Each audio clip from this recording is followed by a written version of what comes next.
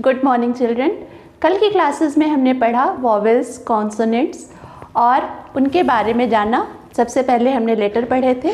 English में 26 letters होते हैं और उन लेटर्स के एक समूह को अल्फ़ाबेट बोलते हैं। ये सब चीज़ें हम लास्ट क्लासेस में पढ़ चुके हैं और उन्हीं से हम इस निष्कर्ष पर पहुँचे थे कि हमारे पास जो वॉवल होते हैं, वो होते हैं हमारे वॉकल कॉर्ड से निकला हुआ साउंड जो वोकल साउंड होता है, जिसमें किसी भी प्रकार का कोई ऑब्स्टेकल नहीं आता अपने आप ही जो निकल जाते हैं, जिसमें हमारी लिप हमारी टंग हमारी बॉडी हमारी टीथ का कोई यूज़ नहीं होता, वही होते हैं हमारे ओरिजिनल साउंड या फिर प्योर साउंड तो ये सारी चीज़ें हम पढ़ चुके हैं। इसमें हमने एक चीज़ और सीखी थी कि हमारे ये टोटल ट्वेंटी साउंड्स होते हैं और कॉन्सोनेंट के ट्वेंटी फोर साउंड तो जो मिलाकर 44 साउंड्स होते हैं, लेकिन हमारे पास जो लेटर हैं, वो 26 ही हैं तो इन सभी लेटर्स को मिलाकर हम जो ये 44 साउंड्स बनाते हैं, उनके बारे में हम धीरे धीरे पढ़ेंगे, और इनका यूज़ क्यों है, हम इनको पढ़ेंगे क्यों, उसके लिए सिर्फ़ ये जानना ज़रूरी है कि हमारे पास आर्टिकल्स होते हैं, और यही हमारा चैप्टर भी है आर्टिकल जो आर्टिकल्स होते हैं उनका मतलब होता है ए एन या फिर दा। इसको दा भी बोलते हैं और कई बार इसको दी भी बोलते हैं। इसका भी अलग से रूल है। तो आज हम जो फोकस करने वाले हैं जहाँ पर वो है हमारा ए और अगर थोड़ा सा टाइम रहा तो हम एन पर भी डिस्कस करेंगे। तो सबसे पहले हम ये देख लेते हैं कि जो ए या फिर एन होता है, वो होते हैं हमारे इनडेफिनिट आर्टिकल्स अब आप सोचेंगे इनडेफिनिट आर्टिकल्स क्या होते हैं? इनडेफिनिट आर्टिकल्स का मतलब होता है जिसमें कोई निश्चित चीज़ नहीं है, अनिश्चित। जैसा कि देखिए, मैंने लिखा भी है हिंदी में, अनिश्चित सूचक। ये आर्टिकल इसलिए अनिश्चित होते हैं क्योंकि हमें इनसे पर्टिकुलर कुछ पता नहीं चलता। और ये सिंगुलर के लिए यूज़ किए जाते हैं एक वचन के लिए। जबकि हम जो दो हमारा दूसरा जो आर्ट, आर्टिकल है वो है द और द को हम डेफिनेट आर्टिकल बोलते हैं। डेफिनेट मतलब निश्चित। और निश्चित सूचक आर्टिकल और यह प्लूरल और सिंगुलर दोनों के लिए यूज़ होता है। मतलब कि बहुवचन और एक वचन दोनों के लिए यूज़ होता है। दोनों के लिए प्रयोग किया जाता है इसको। अब हम यूज़ ऑफ़ ए हम जान लेते हैं कि ए का यूज़ कहाँ पर होता है।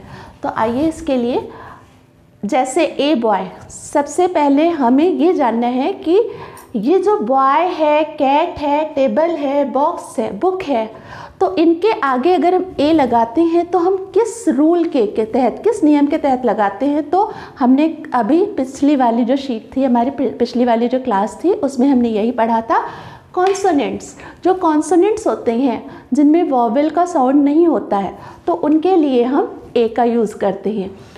तो इस प्रकार से B C D F G जैसे टी पी बहुत सारे वर्ड्स हैं तो इस पर दोबारा से डिस्कस नहीं करते, क्योंकि हम इसको डिस्कस कर चुके हैं।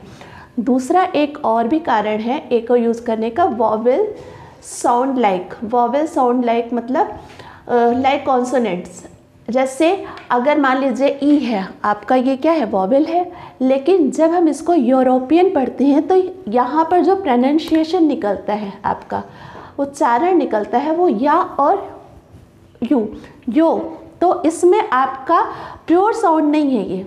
इसलिए यहाँ पर हम ए का ही यूज़ करेंगे। इसी तरह यूनिक यही सेम डेफिनेशन है इसकी भी। और उसके बाद वन वन में देखिए अब आप वाह जो कि एक वॉवेल साउंड नहीं है, वह जो है कॉन्सोनेंट है।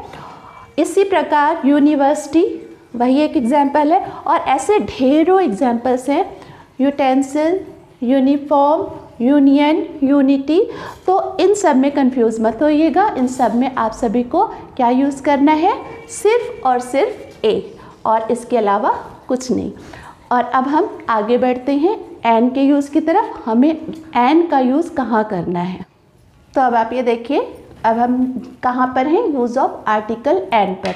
ए हम पढ़ चुके हैं और अब जब एन की बारी है तो सबसे पहले हमारे जो ए ई आई ओ यू ये वॉवेल्स हैं, ये एक बहुत ही सिंपल सा रूल है, जो हमें क्लास वन में ही सिखा दिया जाता है। वन टू बेसिक में मतलब सिखा दिया जाता है। तो ए ई आई ओ यू से शुरू होने वाले जैसे an enemy an ox an ink pot an S an umbrella an orange ये आपके बेसिक्स से हो गए। इसमें आपका वॉवल भी है और वॉवल साउंड भी है। तो आप सिंपल से, आराम से कुछ भी अगर थोड़ा सा भी आप यूज़ करेंगे माइंड को तो आप यहाँ एन लगा देंगे। लेकिन बात यहीं पर ख़त्म नहीं होती है। कुछ चीज़ें ऐसी हैं, जैसे साइलेंट म्यूट साइलेंट या म्यूट एच जहाँ पर हो। मतलब कि इनका जो साउंड है एच का साउंड है, वो साइलेंट होता है। जैसे जब हम आर बोलते हैं तो हावर नहीं बोलते हम, इसको आर बोलते हैं। An R, an honest person honest आ से शुरू हुआ। इसी तरह कुछ और एग्ज़ाम्पल है। Heir, heiress heirloom honesty early. तो ये कुछ ऐसे शब्द हैं जिनके लिए आपको ध्यान रखना है कि एच से शुरू हुआ है एच कॉन्सोनेंट होता है, लेकिन इनका जो साउंड है, वो आपका एक वॉवेल है और उस वॉवेल के कारण आपके इन सभी के आगे हमें एन का यूज़ ही करना है। आप इसमें गलती से भी ए का यूज़ ना करें, नहीं तो आपका क्वेश्चन गलत हो जाएगा। इसमें देखिए एक एक्सेप्शन जो है, वो ये है कि पहले जब हम पहले के टाइम में यूज़ करते तो इसमें भी हम ये सोच के चलते थे, जैसे हम्बल है तो इसको अम्बल बोलते थे।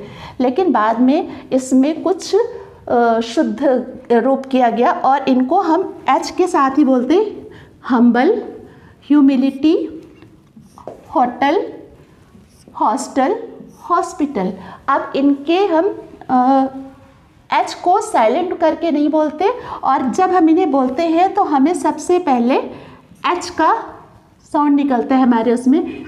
ह्यूमिलिटी जैसे इसमें देखिए होटल होटल नहीं होटल हो गया। इसी तरह हॉस्टल तो इन सभी में हमें एन का प्रयोग नहीं करना है, हमें किसका प्रयोग करना है? ए का प्रयोग करना है। तो अभी देखिए, एच में ही एक रूल ये है और एच में ही एक दूसरा रूल जो है, वो यहाँ पर ये है। तो इसको ध्यान रखिएगा। तीसरा जो थर्ड चीज़ है, आपको बहुत ध्यान देने वाली है एब्रीविएशंस एब्रीविएशन किसी भी चीज़ का शॉर्ट फॉर्म जैसे M A M P M L A जब हम इनको लिखते हैं तो हम क्या लिखते हैं? एम ए हमारा जो साउंड है वो क्या आया? वॉवेल साउंड आया।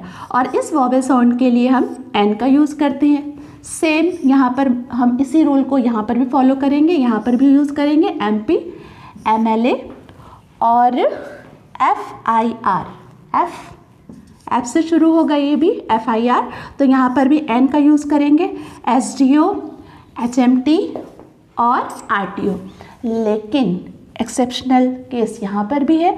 जो यहाँ पर एक्सेप्शंस हैं, वो ये हैं कि जब हम इनका लॉन्ग रूप लिखेंगे, जैसे अ मेंबर ऑफ़ पार्लियामेंट जब हम इसको पूरे को लिखेंगे तो हम यहाँ पर आ ही लगाएँगे एन नहीं लगाएँगे, लेकिन शॉर्ट फॉर्म में हम इसको एन के साथ ही रिप्रेजेंट करेंगे।